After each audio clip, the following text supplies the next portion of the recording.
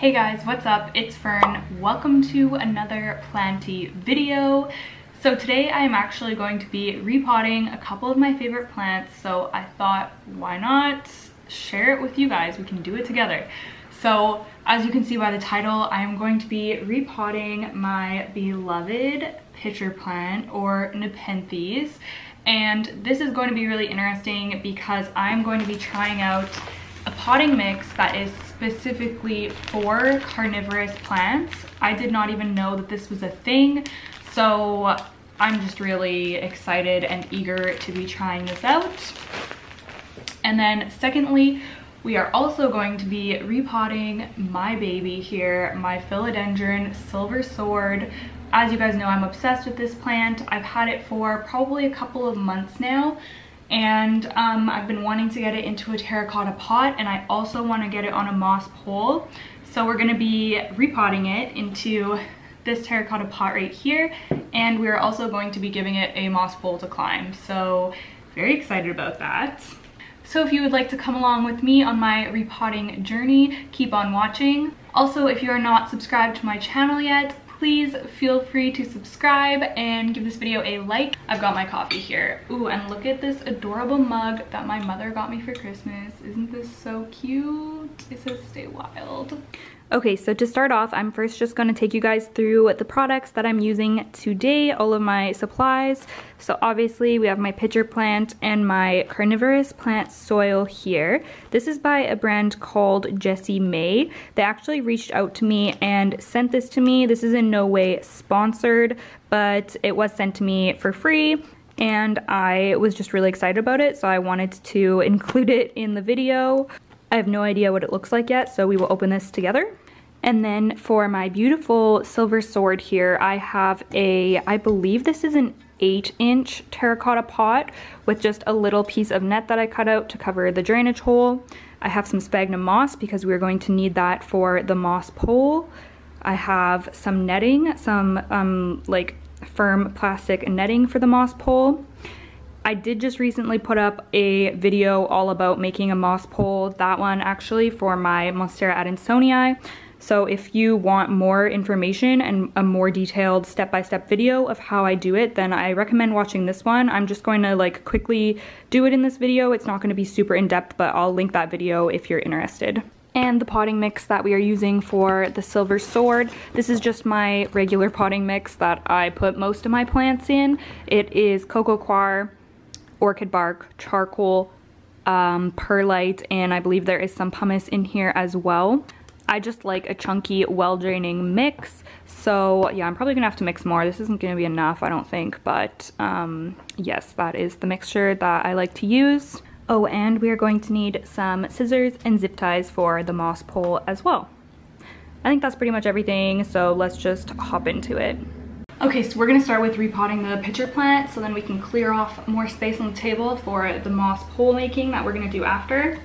Okay, so this is what my pitcher plant looks like. It's January, so I think it looks pretty darn good. Um, I think I'm getting better with this guy. Last winter, I don't think he had any pitchers, and this winter he's hung on to a few. One is actually on its way out right there. You can see it's turning brown. It's gonna come off soon by come off, I mean I'm gonna cut it off soon. I do have a video all about how I take care of this plant. Um, I will link it if you're interested. I am by no means a carnivorous plant pro. This is the only one I have and I'm definitely a beginner. Oh my goodness, look at a little baby pitcher is coming in. I just noticed it. Um, anyways, I really love this plant. Um, so I think I'm just gonna take it out and see what the roots look like and then that'll determine whether I'm gonna put it back in this size of pot. Let's just take a look and see. I don't even know what its roots look like. Oh, they're very fine. I don't think I'm gonna like really disturb the roots. I'm just gonna take off as much of the sphagnum as I can. Um, I can't really see like a whole lot. I mean, what I can see of the roots is they're just like these really fine like black roots. I don't even know if you can see. And I don't know if that's normal. Hopefully that's what the roots are supposed to look like. Like I said, I am a noob when it comes to these guys. Uh, trying to be really gentle.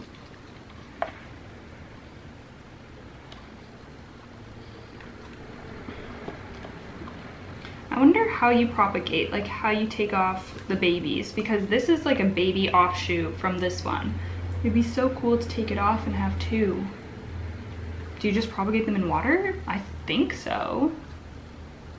Maybe I should Google it quickly. Hey Google, how do you propagate pitcher plants?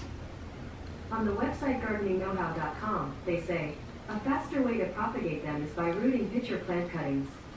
Cut pieces of stem that have two or three leaves on them. Okay, let's take a look at what this potting mix looks like here. There's like sticky stuff on this thing, on the pictures. That's unwell. I'm gonna go wash my hands. It is pouring rain outside today, you guys. Pouring. It's been pouring so much lately. There's actually flood warnings for my city. Every single day, it's just been pouring for weeks, it feels like. it makes me feel so unmotivated. And I have so much stuff to do and I just found spider mites inside my cabinet. Oh my goodness. We're just gonna drink coffee and keep on going. Okay, let's take a look at this potting mix. It's so light. I wonder what is in here. Hmm, interesting. It just looks like regular potting mix, like on first glance. Very light though. They did, let me steal this back for a minute.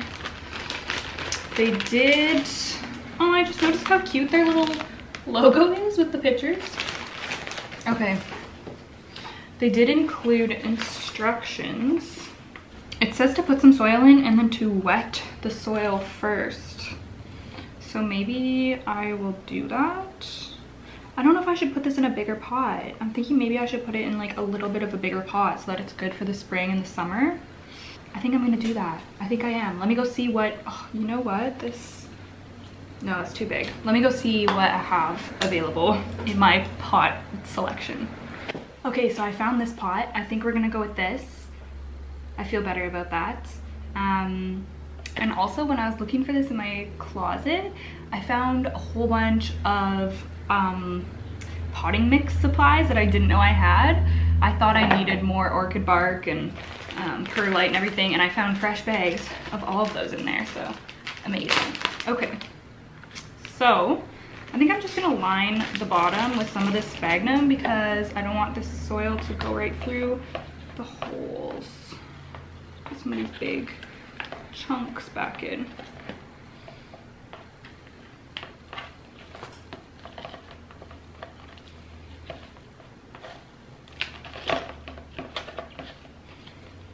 So, just gonna pour a little bit in.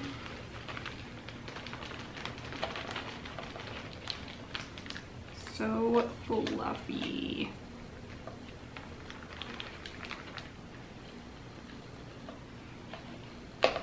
I will definitely keep you guys updated on how this plant is doing in here because, you know, this is just a learning process.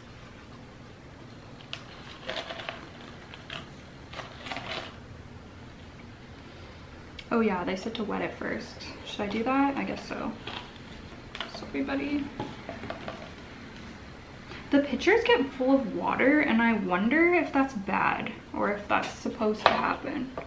If anybody knows, can you please let me know down below? Okay, so it said to wet it and kind of compress it, so that's what I did. And now I'm gonna pop this guy in. Oh my goodness, he's in such a big pot now. So cute. Okay, um, I'm gonna fill it up with this now.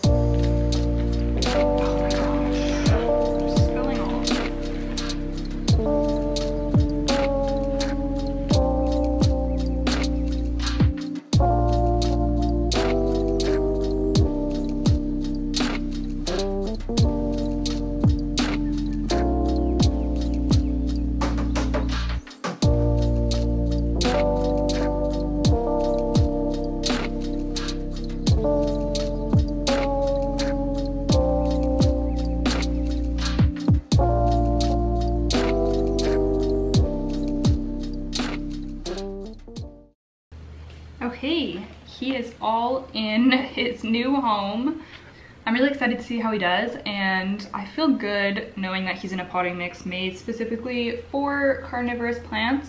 So I'll definitely keep you guys updated like I said and let you know my thoughts.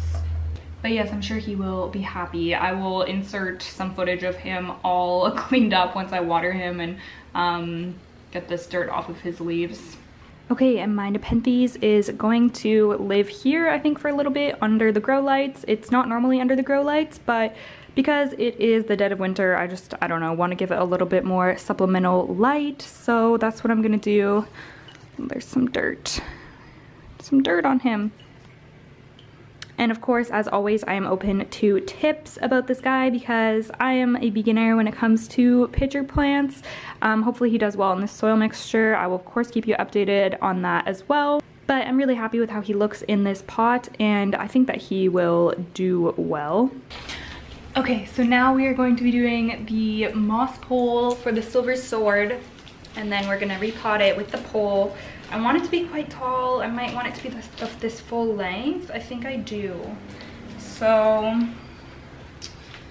because it's just, it's just much easier to make a tall pole to begin with than to have to add extensions after. Probably like, I don't know, doesn't like that. I just like eyeball it. okay.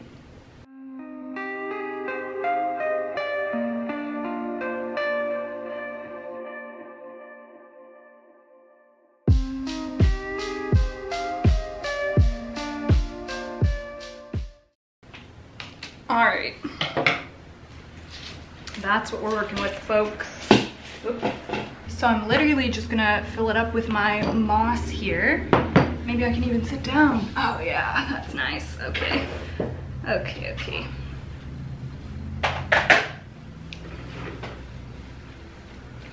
The other day I was thinking, I have these bamboo stakes and I was thinking maybe I should put them inside my moss poles. I'm gonna go get one and see if I can use it. Okay, so this is what I'm talking about. I just have these bamboo stakes from like Home Depot or somewhere like that. And I think I'm gonna use it like this and then this part can go into the pot. Is that a good idea? Will that be sturdy?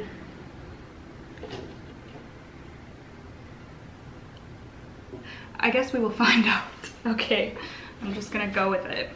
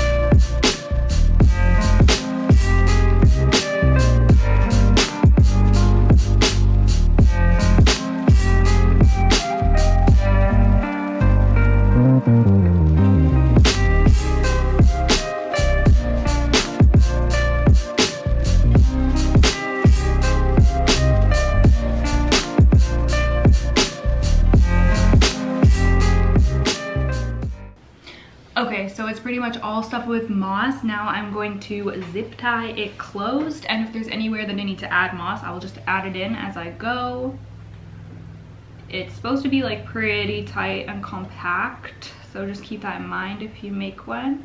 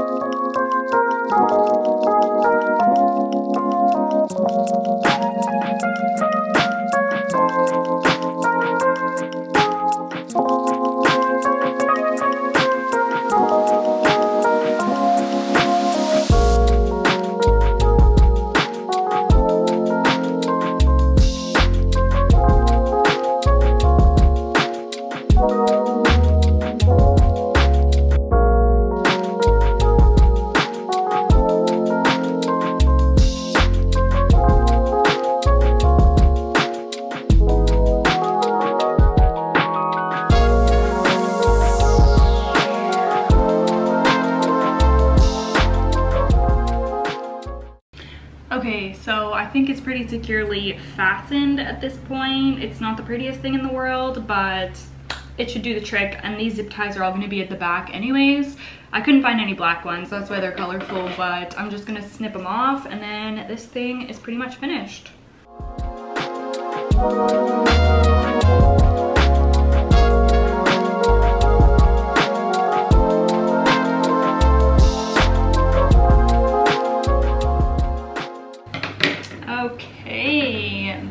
Is nice. Pretty impressed with my handiwork. I used to dread the idea of making moss poles, but it's actually not bad. Kind of satisfying. So, okay, I'm just gonna set this aside because we need to get this guy into its new pot. Okay, so, all right, so I'm just gonna fill our pot up here. My goodness, running out of room.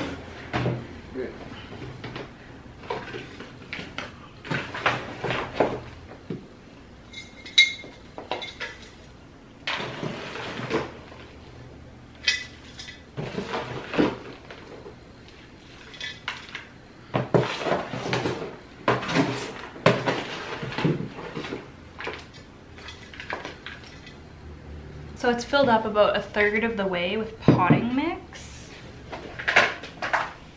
We're gonna take this guy out and have a peek here.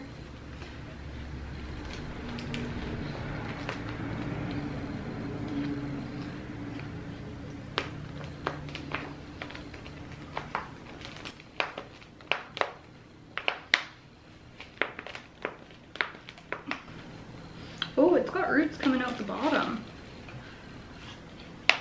Oh, my goodness. Looks beautiful.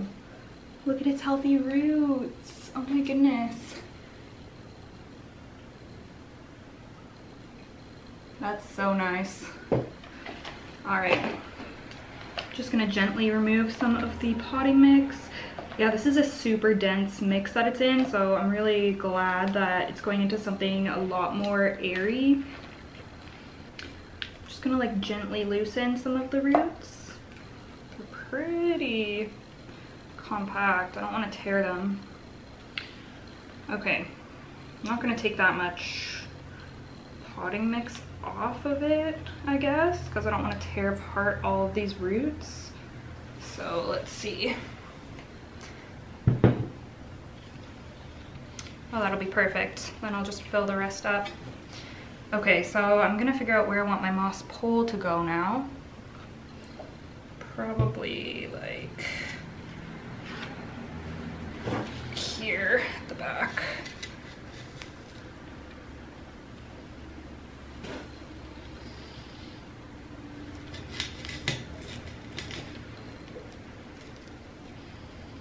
Okay, that'll be perfect. So I'm gonna fill it with some more potting mix while, while holding onto this pole. Mm-hmm.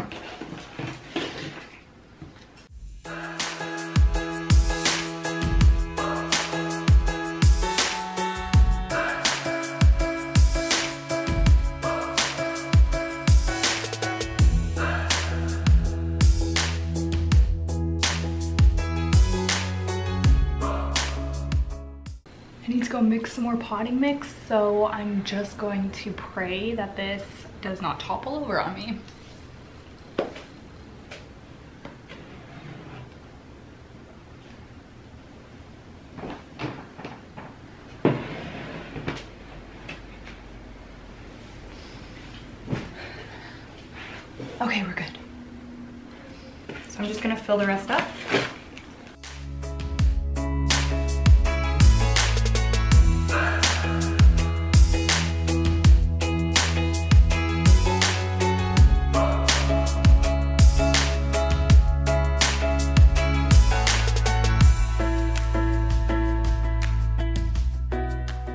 Okay, all of the repotting is done. I am now just going to fasten it on here with some of my plant Velcro.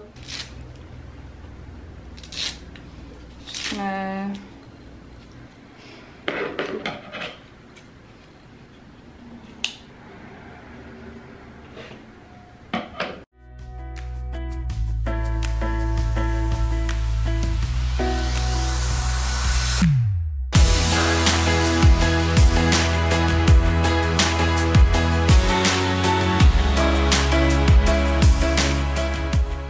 Okay, so that is the final product. I just put one little strip of Velcro here and then once it grows a little bit more, I'll put another one. I think it's actually putting out another new leaf right now, so I'm just, ugh, I'm so excited. I love this plant so much and it's going to be absolutely incredible when it starts growing up the pole. I'll show you guys how big the pole is. Like it has so much room to grow. Oh my goodness. I might have went a little overboard, but you know what? We've just got high hopes for her. So um, yeah, I'm gonna put her under uh, on the floor in the plant room so she'll grow up towards the Mars Hydro grow lights. Um, yeah, I'll insert a clip of what both of these plants look like, all cleaned up. Okay, so here is the silver sword. It is going to live on the floor in my plant room here. Like I said, it's near the humidifier. You can see the mist coming down. Um, my plant room is actually my old bedroom now. They're switched, so it's much bigger. I will have to show it to you guys sometime soon. I'm still getting it situated. But um, yeah, I think that this guy is going to do really well on his new pole. It's so tall. Oh my goodness. I want him to grow like a little bit more this way. So I think I'm just going to like situate him facing that way so that he can kind of turn towards the light a little bit more.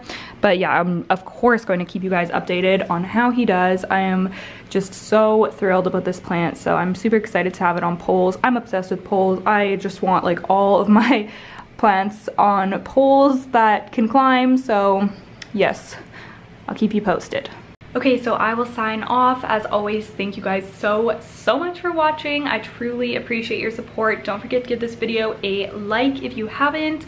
And if you're not subscribed to my channel, please hit that subscribe button down below, as well as leave me a comment because that really helps me out on the YouTube algorithm. And if you would like to support my channel even further, I do have a Patreon with bonus content that will all be linked down below. Okay, thank you guys so much. Bye.